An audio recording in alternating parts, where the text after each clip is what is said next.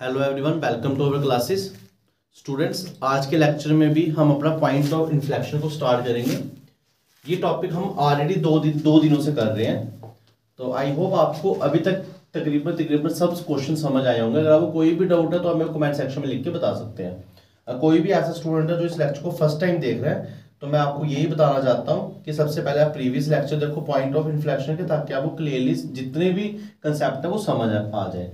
तो अब time waste नहीं करेंगे क्वेश्चन पे चलेंगे। आपको बोला find the point of inflection of the curve X is equal to log Y का होल क्यूब तो ये जो क्वेश्चन है, ये एग्ज़ाम में जम्मू यूनिवर्सिटी में काफ़ी बार आया हुआ है। मैं वही क्वेश्चन ला रहा हूँ जो जम्मू यूनिवर्सिटी में ऑलरेडी पूछे जा चुके हैं, ठीक है? और जम्मू यूनिवर्सिटी अपने क्वेश्चन को बार बार रिपीट करती है। तो सबसे पहले हम कर्व लिख देते हैं। X is equal to log Y की होल पावर थ्री अगर आपको याद होगा, कल के लेक्चर में या कल से पहले लेक्चर में हम ऐसे करते थे। हमने निकाला D Y by D X फिर हमने निकाला D two Y by D X two फिर हमने निकाले एक्स के पॉइंट्स ठीक है? फिर हमने निकाला D three Y D X cube किसी किसी क्वेश्चन में, और ये वैल्यूज़ इधर डाली और देखा नॉन ज़ीरो और फाइनाइट आना चाहिए। अब ऐसा ही क्यों करते थे? क्योंकि जो कर्व होती थी, वो हमारी वाई की टर्म्स में होती थी। अब जो मेरा क्वेश्चन है, जो मैं आज आपके सामने लाया हूँ, उसमें कर्व किसकी टर्म्स में है? एक्स की टर्म्स में है। तो अब आपको D Y by D X की प्लेस में D X by D Y निकालना है। बस इतनी सी चेंज है। आई होप आप समझ गए होंगे। तो देखो, ये क्वेश्चन है X is equal to log Y का होल क्यूब तो सबसे पहले मैं क्या करूँगा? भाई डी वाई तो क्या आ जाएगा? Three log Y whole power two अब लॉग की डिफ्रेंसिएशन कितनी आ जाएगी? वन बाई वाई ठीक है? अब वाई की विद रिस्पेक्ट टू वाई कर रहे हो तो वो तो वन ही रहेगी। ठीक है? अब इसके बाद क्या आ जाएगा? D X by D Y इधर क्या आ जाएगा? Three log Y whole square upon Y ये आपके पास D X by D Y है। अब हम इसको दोबारा से डिफ्रेंशिएट करेंगे। Again differentiating with respect to Y तो क्या आ जाएगा आपके पास? D two X by D Y two अब थ्री कांस्टेंट बाहर आ गया।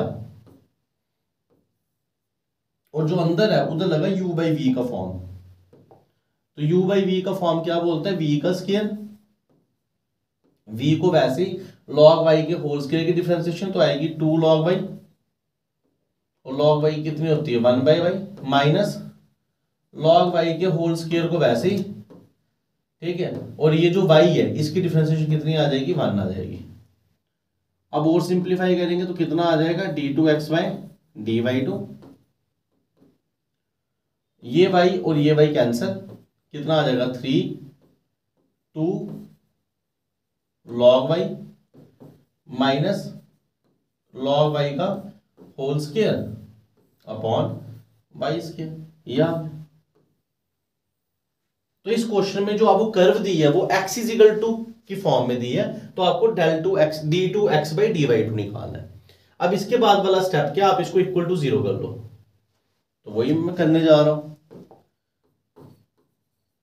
पॉइंट ऑफ़ इन्फ्लेक्शन निकालने के लिए for point of inflection for point of inflection put करो D two X by D Y two को इक्वल टू ज़ीरो तो कितना आ गया? Three two log Y sorry minus log Y का whole square upon Y square is equal to zero अब इसको simplify करो थ्री ज़ीरो के नीचे चला गया ज़ीरो वाई स्केयर ज़ीरो के साथ चला गया, वो भी ज़ीरो तो आया two log Y minus log Y का whole square is equal to zero अब इस इक्वेशन में क्या करेंगे स्टूडेंट्स लॉग वाई को कॉमन ले लो। तो क्या बचेगा? टू माइनस लॉग वाई अगर दो चीज़ों का प्रोडक्ट ज़ीरो है तो यहाँ तो फ़र्स्ट वाला ज़ीरो है, या तो सेकंड वाला ज़ीरो है। तो इसका मीनिंग है, या तो लॉग वाई ज़ीरो है, या तो two minus log Y zero है। अगर लॉग वाई ज़ीरो है तो आपको पता है लॉग हटाओ तो इधर एक्सपोनेंशियल लगाओ, ठीक है? तो वाई कितना आ रहा है? वन सॉरी और इसको मैं इस साइड क्या कर दूँगा? लॉग वाई अब इधर से लॉग उठाओ। तो इधर ई e के ऊपर टू लगा दो तो वाई आएगा ई e की पावर टू तो आपके पास दो पॉइंट्स आए वाई वन और ई e की पावर टू अब क्या करोगे स्टूडेंट्स अब आप इसका ट्रिपल डेरिवेटिव निकालो। क्या निकालो? D three x by d y cube ठीक है? वो जो आपने ऊपर फ़ंक्शन निकालना है, ये फ़ंक्शन ठीक है? इसकी एक बार और डिफ्रेंसिएशन करो। तो कितना आ जाएगा? मैं सबसे पहले फ़ंक्शन लिख देता हूँ। डी वाई डी वाई क्या फ़ंक्शन है? तो फ़ंक्शन आपका आया हुआ है।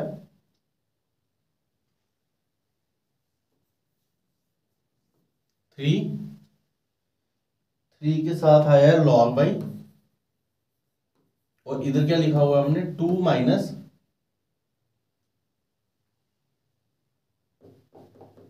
ऐसे कर लो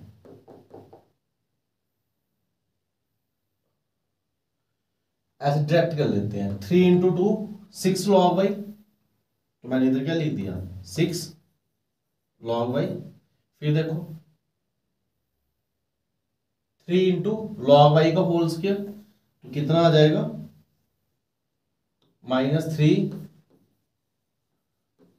लॉग वाई का होल स्केयर अपॉन में क्या है? वाई स्केयर अपॉन में क्या है? वाई स्केयर तो ये आपका डेरिवेटिव है, इसकी एक बार और दोबारा डिफ्रेंसिएशन कर लो। तो अगर आप इसकी डिफ्रेंसिएशन दोबारा करना चाहते हो तो कैसे करोगे? देखो हम कैसे करेंगे। जो डिनोमिनेटर है, उसकी एक बार उसका स्केयर कर लो। तो वाई स्केयर का स्केयर फोर फिर डिनोमिनेटर को वाई स्केयर को वैसे रखो। डिफ्रेंसिएशन करनी है इस पूरे की। तो सिक्स को वैसे लॉग वाई की one by y minus three को वैसे टू आया नीचे, बचा क्या? लॉग वाई और लॉग वाई की फिर अगेन क्या होगी? One by y y square को एज इट रखा, इसकी डिफ्रेंसिएशन की। माइनस अब इसको एज इट इज़ रखो।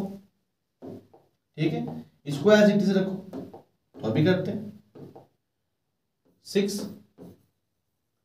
log y minus three log y का होल स्केयर इसको मैंने एज इट इज़ रखा और वाई स्केयर की डिफ्रेंसिएशन की वो कितनी आ रही है? टू वाई ठीक है? अब आप इसको सॉल्व करने की कोशिश करते हैं देखो क्या होगा।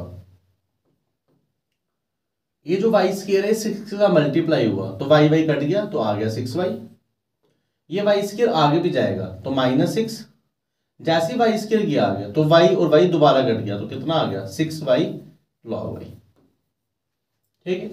फिर इधर क्या है? बाहर से टू वाई आया तो टू इंटू सिक्स कितना होगा? Minus twelve y log y.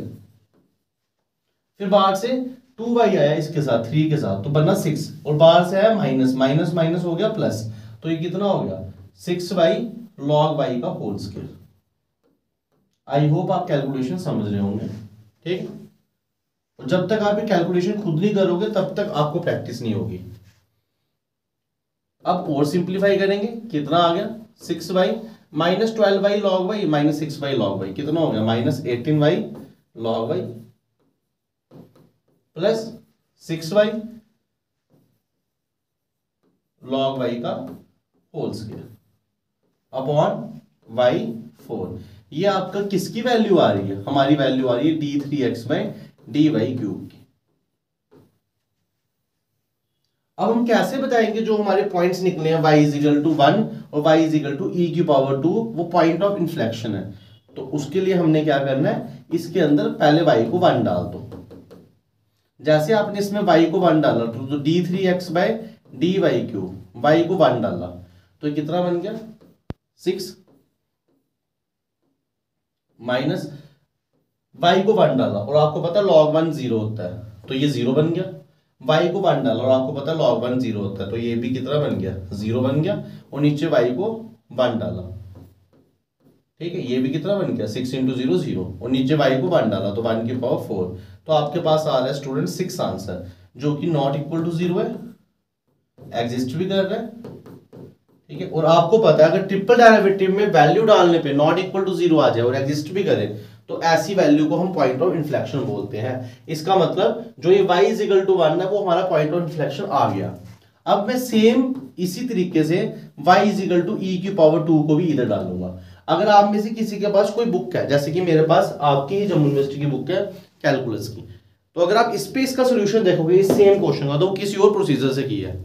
Basically उन्होंने साइन को देखा हुआ है, मगर दो मेथड है जिसमें मैंने क्यूब से करवाया हुआ है। इसमें बस डिफरेंशिएशन के दो स्टेप की प्रॉब्लम है। अगर आपको डिफरेंशिएशन अच्छे से आती है तो आप क्वेश्चन को इजीली कर जाओगे। नहीं तो आपको अगर उस मेथड से करवाऊँगा तो आपको कुछ चीज़ें याद रखनी पड़ेंगी, ठीक है? तो कोशिश की है आसान बनाने की। तो अब ये कितना आ गया? D three x by d y cube अब ई e की पावर टू डाल दिया। तो कितना आ गया? सिक्स ई e की पावर टू ई की पावर टू डाल दिया। इधर। तो कितना आया? माइनस एटीन ई की पावर टू लॉग वाई की प्लेस में डाल दिया ई की पावर टू और आगे फिर सिक्स ई की पावर टू लॉग ई की पावर टू का होल स्केयर अपॉन वाई की प्लेस में क्या डालना है? ई की पावर टू का होल स्केयर अब ये भी नॉट इक्वल टू ज़ीरो और फाइनाइट आना चाहिए। तो इसको अगर हमने जल्दी सॉल्व करना है तो घबराना नहीं कैलकुलेशन देखिए आप साइड पे पहले लॉग ई की पावर टू सॉल्व कर लो। लॉग ई की पावर टू को लिख सकता हो टू लॉग ई और लॉग ई हमेशा क्या होता है? वन होता है। इसलिए लॉग ई की पावर टू का मतलब टू है। ठीक है? तो ये आ गया सिक्स ई की power two minus eighteen e की पावर टू लॉग ई की पावर टू का मीनिंग मैंने क्या बताया? टू प्लस सिक्स ई की पावर टू लॉग ई की पावर टू का मीनिंग मैंने क्या बताया? टू और ई की पावर टू का टू तो ये कितना हो गया? फोर अब इसको और अगर आप सॉल्व करो तो कितना आ गया? सिक्सटीन ई स्केयर ये कितना आ रहा है? Minus eighteen e square into two और ये कितना आ रहा है? Six into four e square upon e four अब सबके पास ई स्केयर है, मैंने कॉमन ले लिया। सबके पास सिक्स है, मैंने वो भी कॉमन ले लिया। सिक्स भी कॉमन ले लिया ई स्केयर भी कॉमन ले लिया। तो पहले के पास वन रहा, इसके पास सिक्स कॉमन लिया तो थ्री ई स्केयर कॉमन लिया। तो खत्म हो गया पीछे टू रहा। इसके बाद मैंने सिक्स कॉमन लिया। तो पीछे रहा फोर ई स्केयर भी कॉमन लिया। तो पीछे ये टर्म रही। और नीचे क्या ई e की पावर फोर जो आप मल्टीप्लाई करोगे गड़बड़ करोगे कैलकुलेशन को, आप ऐसे इजीली कर लो। ई स्केयर और ये कट गया। इधर ई स्केयर रहा। तो ये बना सिक्स अपॉन ई स्केयर और इधर कितना बना? Four plus one five five minus six कितना होता है? माइनस वन और ये कितना आ रहा है? Minus six upon e square ये कभी भी ज़ीरो नहीं हो सकता। क्यों? क्योंकि मैंने आपको बड़ी बार बताया कि जो एक्सपोनेंशियल है, ये न्यूमेरिकल वैल्यू जिसकी अप्रोक्सीमेटली वैल्यू कितनी है? Zero point two one approximately आप गूगल पे सर्च मार के देख सकते हो। अगर two zero two point seven one को आप स्केयर कर रहे हो तो कभी ज़ीरो बन ही नहीं सकता। ठीक है? और ये ज़ीरो तब बनेगा जब नीचे वाला इन्फिनिटी बनेगा। ये इन्फिनिटी थोड़ा है। टू पॉइंट सेवन का स्केयर इन्फिनिटी थोड़ा है। तो ये नॉट इक्वल टू ज़ीरो है और फाइनाइटली एग्जिस्ट कर रहा है। फाइनाइटली एग्जिस्ट कर रहा है। तो इसका मतलब जो मैंने इस क्वेश्चन में पॉइंट्स निकालने हैं, ये आपके पॉइंट ऑफ़ इन्फ्लेक्शन है। तो अब हम क्या करेंगे? When y is equal to one तो क्वेश्चन में x आपको क्या दिया था? क्वेश्चन देख लेते हैं। log y की whole power three log y की होल पावर थ्री तो इसमें वाई की जगह वन डाल दो। लॉग वन की होल पावर थ्री और लॉग वन कितना होता है? ज़ीरो याद रखना है। तो एक पॉइंट ये आया। और दूसरा when y is equal to e की पावर टू एक्सपोनेंशियल की पावर टू एक्स कितना आया? लॉग वाई की होल पावर थ्री और लॉग वाई की जगह ई e की पावर टू डालना है होल पावर थ्री अभी तो आपने सॉल्व किया लॉग ई की पावर टू कितना होता है? टू होता है। तो टू की पावर थ्री कितना आ रहा है? एट आ रहा है। तो इसका मीनिंग क्या है? इसका मीनिंग है इस क्वेश्चन में कि जो एक्स ज़ीरो है, y वन है, ये पॉइंट और x एट y e की पावर ये पॉइंट ये रिक्वायर्ड पॉइंट ऑफ़ इन्फ्लेक्शन है। रिक्वायर्ड पॉइंट ऑफ़ इन्फ्लेक्शन है। कोशिश की है इस क्वेश्चन को आप सबके लिए काफ़ी इजी बनाने की। आई होप आपको ये क्वेश्चन अच्छे से समझ आया होगा। जो इस टाइप के क्वेश्चन है, ये एग्ज़ाम में काफ़ी बार पूछे जा चुके हैं और काफ़ी बार ये आएँगे भी। तो आपको इस टाइप के क्वेश्चन अच्छे से कर लेने हैं। तो स्टूडेंट्स नेक्स्ट क्वेश्चन हमारे सामने show that the points of inflection ये आपको कर्व दी है। तो इसके जो पॉइंट ऑफ़ इन्फ्लेक्शन आपने बताना, वो इस लाइन के ऊपर लाई कर रहे हैं। ये एक लाइन है, इसके ऊपर लाई कर रहे हैं। तो क्या करोगे आप? एज यूजली जैसे हम इसके पॉइंट ऑफ़ इन्फ्लेक्शन निकालते हैं, वो निकाल लो और उनकी वैल्यूज़ को इस लाइन में डाल दो। अगर सेटिस्फाई कर दिया तो इस लाइन के ऊपर लाई कर रहे हैं।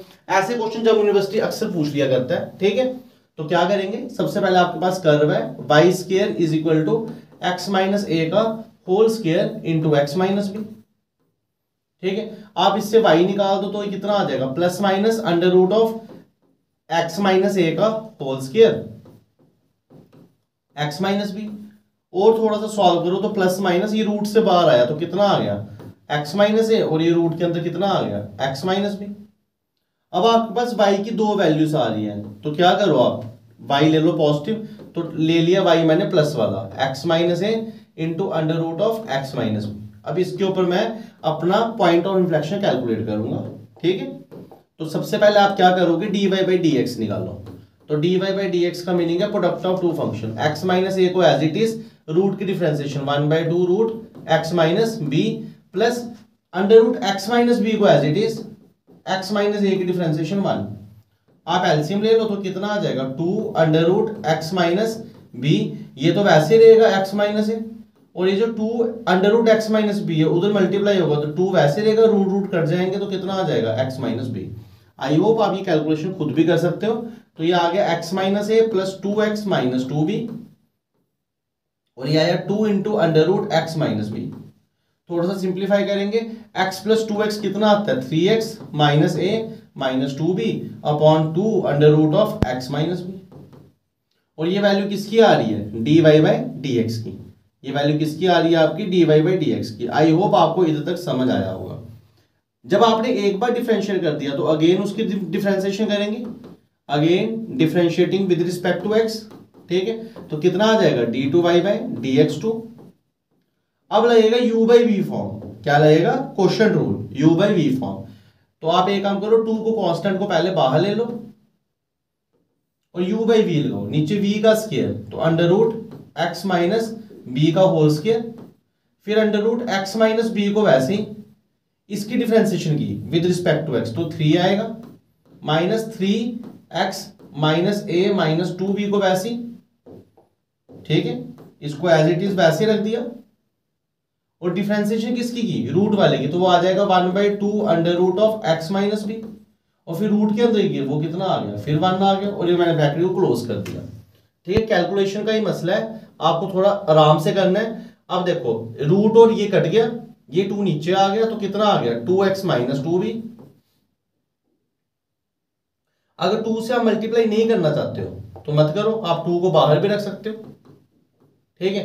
अब इधर क्या आ गया? Three under root x minus b अब ये कितना आ गया? Minus three x minus a minus twice b upon two under root x minus b students थोड़ा सा और सिंप्लीफाई करेंगे तो हम ऊपर न्यूमिनेटर में एल्सियम ले सकते हैं। ये देखो, इसके डिनोमिनेटर में वन है। दोनों मल्टीप्लाई कर दिया तो कितना आ गया? Two under root x minus b cross multiply किया three into two six root root cancel तो कितना आ गया? एक्स माइनस बी वन से मल्टीप्लाई किया तो वो सेम रहेगा। और माइनस से मल्टीप्लाई किया तो माइनस को मैंने ऐसे कर दिया। माइनस प्लस और प्लस और होल में क्या है? ये तो आया एल्सियम ऊपर वाले का। होल में क्या है? टू एक्स माइनस बी अब देखो एक बात ध्यान से। इस x माइनस बी की पावर वन बाई टू है। इसकी पावर कितनी है? रूट है। रूट को वन बाई टू बोलते हैं और इसकी पावर कितनी है? वन ये टू नीचे आ गया तो कितना बन गया? फोर वैसे रूट भी नीचे आया तो नीचे x माइनस बी पहले का था। रूट अपने साथ लाया one by two one by two भी है वन भी है। Basis same powers are added one plus one by two कितना होता है? थ्री बाई टू ठीक है? और ऊपर कितना आ गया? Six x minus six b minus three x plus a plus two b ठीक है? अब सिक्स एक्स में से थ्री एक्स माइनस कर दिया तो थ्री एक्स रहेगा। Minus six b plus two b कितना आता है? माइनस फोर बी और आएगा plus a upon four x minus b की whole power three by two ये आपका डबल डेरिवेटिव आएगा जैसे आप डबल डेरिवेटिव निकाल दो, उसके बाद हमने क्या करना है? हमने इस पॉइंट ऑफ़ इन्फ्लेक्शन निकालने के लिए इस डबल डेरिवेटिव को क्या करना है? इक्वल टू ज़ीरो पुट करना है। फॉर पॉइंट ऑफ़ इन्फ्लेक्शन आपको क्या करना है? D two y by d x two को इक्वल टू ज़ीरो पुट करना है। D two y by d x two को किसके इक्वल पुट करना है? ज़ीरो तो ये कितना आ गया? Three x minus four b plus a upon four into x minus b की whole power three by two is equal to zero जो डिनोमिनेटर है, इसको ज़ीरो से मल्टीप्लाई करेंगे ज़ीरो बन जाएगा तो रिमाइंडर ऊपर बचा three x minus four b plus a is equal to zero three x को ऐसे रखा तो ये बच गया फोर बी माइनस ए उस तरफ़ चला गया। ठीक है? एक्स को सॉल्व करूँगा तो कितना आ गया? Four b minus a upon three ये आपका एक्स पॉइंट निकल गया। तो जैसे हमने इसको इक्वल टू ज़ीरो किया तो ये आपका क्या निकल गया? एक्स पॉइंट एक बार चेक भी कर लेते हैं क्या वाकई हमारा ये पॉइंट आ रहा है। बिल्कुल यही आ रहा है। ठीक है? यही आपका पॉइंट आ रहा है। अच्छा। अब देखो, अब क्वेश्चन वाले ने क्या बोला? क्वेश्चन वाले ने बोला, जो पॉइंट ऑफ़ इन्फ्लेक्शन है, जो आपका इस क्वेश्चन में पॉइंट ऑफ़ इन्फ्लेक्शन आएगा, ठीक है? वो किस लाइन के ऊपर लाई करेगा? वो लाइन देख लो आप। Three x plus a is equal to four b three x plus a is equal to four b तो अगर आप ध्यान से देखो, यही तो है। ये देखो। अगर मैं इसको ऐसे कर लू solve three x plus a is equal to four b यही पॉइंट है ना? यही लाइन बन गई। तो हमने क्या देखा? जैसे मैंने इसमें पॉइंट ऑफ़ इन्फ्लेक्शन की कंडीशन लगाई इक्वल टू ज़ीरो वाली तो मेरे को जो मिला लास्ट में पॉइंट तो मिल गया बेशक, मगर मेरे को जो एक्चुअल में मिला, वो मेरे को लाइन ही मिल गई। और ये कौन सा केस था? जब मैंने वाई को पॉजिटिव लिया। फिर आपको क्या करना है? नीचे लाइन लिखनी है similarly for y is equal to minus अब क्या इक्वेशन थी वो मैं एक बार देख लेता हूँ। वो इक्वेशन थी आपकी minus x minus a under root x minus b इसके लिए भी वी गेट हमें यही मिलेगा। Three x plus a is equal to four b अब एग्ज़ाम में क्वेश्चन आता है तो बार बार नहीं करना सिमिलरली करके आपने छोड़ देना है। तो हमने क्या देखा, जो इस क्वेश्चन का पॉइंट ऑफ़ इन्फ्लेक्शन है, वो इस लाइन पे लाई कर रहा है। तो देयरफॉर जो पॉइंट ऑफ़ इन्फ्लेक्शन की, जब मैंने इस पे कंडीशन लगाई तो वो इसी लाइन पे आ गया।